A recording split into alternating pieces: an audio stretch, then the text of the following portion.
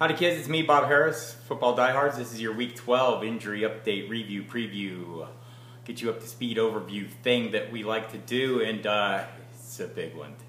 A lot of stuff to go through today, so as always, we'll do it chronologically so you uh, have an understanding of uh, where you, what kind of decisions you need with late game options and Monday night options and Sunday night options if you need them. So we'll start in the morning or the early afternoon kickoffs. Uh, Cincinnati, obviously, AJ Green and Gio Bernard out.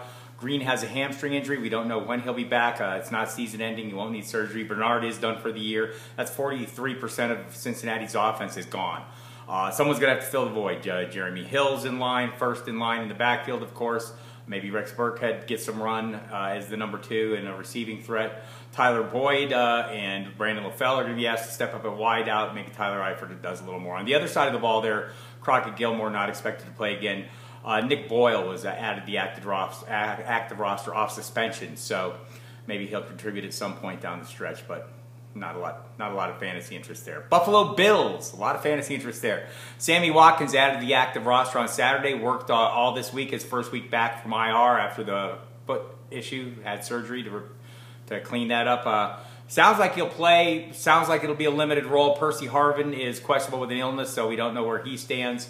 Um, it's kind of a tricky one. Don't wouldn't want to get too far in front of it, but Watkins can be a playmaker. Uh, might have a tough time with Jalen Ramsey though, who's been playing well for the Jaguars. So uh, LeSean McCoy.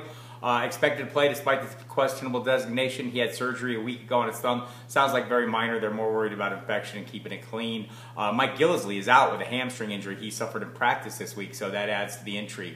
Uh, Robert Woods is out with a, with a knee injury, and Charles Clay listed as questionable. Expect him to play. Other side of the ball, TJ Yeldon uh, did not practice all week. He's listed as questionable. My guess is this is all Chris Ivory. I'm not sure that uh, Yeldon will be active. I wouldn't count on him for a full game.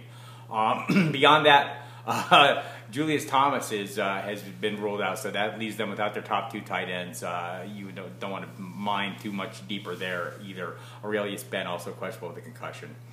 Uh, for the New Orleans Saints, Mark Ingram uh, listed as questionable coming off the concussion. He's had a long time. It was the last Thursday. So um, not officially cleared because of the questionable designation, but expect him to be in time for the game. But you'll need to watch and make sure he is active. And I'll have that information in the uh, 90 minutes leading up to kickoff. Uh, also in that game, Tra- Travaris Cadet is listed as questionable as well, and Daniel Latlasco. Um, they haven't been contributing much for the Chicago. Oh, on the other side of the ball, Todd Gurley had a, had an illness. The Rams are have a lot of illness going around. Uh, Todd Gurley caught it missed Friday's practice, but he wasn't listed as questionable on the injury report. Just showed up as with an illness, no designation, so expect him to go as usual. Um, for the uh, Bears, Jay Cutler, day to day, except that won't be this week. He's not playing this week. John Fox continues to call him day to day. People are saying it's a season ending injury. Matt Barkley will take over in his absence. Uh, beyond that, Eddie Royal listed as questionable. Uh, did not practice all week. He's been playing through his toe injury all along. With Zach Miller already out, um, you know, and Alshon Jeffery on suspension, they need all the bodies they can get. Um, don't count on, you know, don't go too much deeper on the tight end situation. Keep an eye on Royal if he plays. Keep an eye on Cameron Meredith. Uh, and Jordan Howard and the running backs as receivers as well. Marquess Wilson as well. He's not on the injury report this week.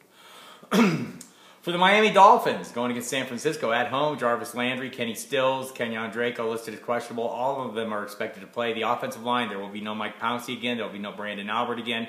Sounds like Laremy Tunsil could play. Um, not a lock, though, so watch that for Jay Ajayi. Great matchup either way, though, so uh, that's of interest. Uh, on the other side of the ball, Torrey Smith is listed as questionable. Missed his first game as a pro last week.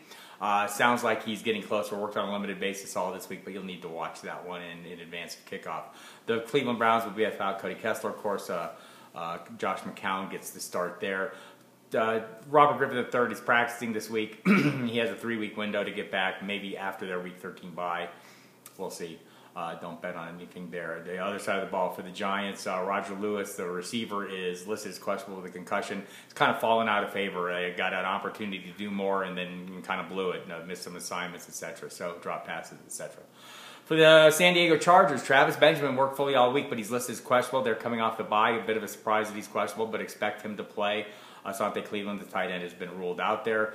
Uh, could be a good day for Melvin Gordon. It's a good matchup. Um, on the other side of the ball, Alfred Blue has been ruled out. Jaelen Strong has been ruled out. Lamar Miller's off the injury report. Uh, CJ Fedorowicz is off the injury report. Ryan Griffin's off the injury report. Everyone's gotten healthy. Will Fuller off the injury report, so all good to go there. Uh, for Arizona, it, at Atlanta, Michael Floyd is questionable for this one. So uh, sounds like a true game time decision. Uh, this is probably going to remain the David Johnson show. It's a great matchup if the Cardinals could get their passing attack on track. Larry Fitzgerald's still a viable play there, but Carson Palmer's kind of been a disappointment, no doubt about that. On the other side of the ball, by the way, Tevin Coleman is back and at full speed, not on the injury report, so we're good to go there.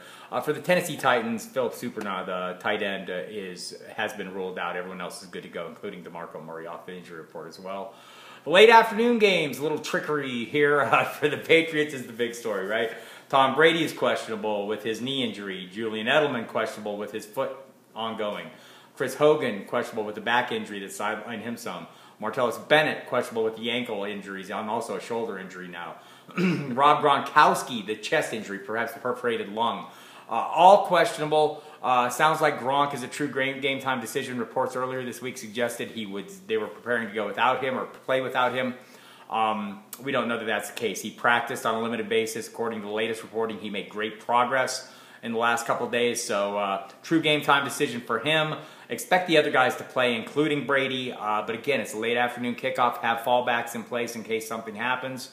Uh, unless you're very trusting. We know Edelman and Bennett have been playing through their respective injuries for quite some time, so they seem really reasonable. I'm I'd be very surprised if Brady doesn't play. Gronk truly up in the air. So watch that one. For the uh, for the Oakland Raiders, Latavius Murray and Michael Crabtree both have ankle issues.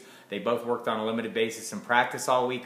Both are expected to play. Good matchup for that passing attack uh, against the uh, weak Carolina secondary. So uh, you'll need to watch that one again. Have fallback plans in place. Jacquizz Rodgers expected to return. Listed as questionable. Don't know what kind of role he'll play. I mean, eventually a change of pace. Maybe this first week back, you shouldn't expect too much. Maybe the Doug Martin show against a tough Seattle uh, defense. By the way, Mike Evans will be going up against Richard Sherman. That should be interesting as well. Sunday night, Jeremy Maclin's been ruled out. Charcandrick West is fine. Uh, Spencer Ware will lead the rushing attack against the Denver defense. It's been pretty generous to running backs, so maybe that's the approach. The Chiefs haven't been passing well. Monday night game, uh, Ryan Mathews has been ruled out. Uh, his, so, and this injury could linger, according to Doug Pederson on Saturday. So, watch that. Darren Sproles good to go, but Wendell Smallwood's a guy to watch in this one. Uh, it's not a horrible matchup going against Green Bay. Uh, I mean, they're tough against the run, but uh, they've been, you know, small little factor in the passing game as well. Sproles. Nelson Agholor's status remains up in the air.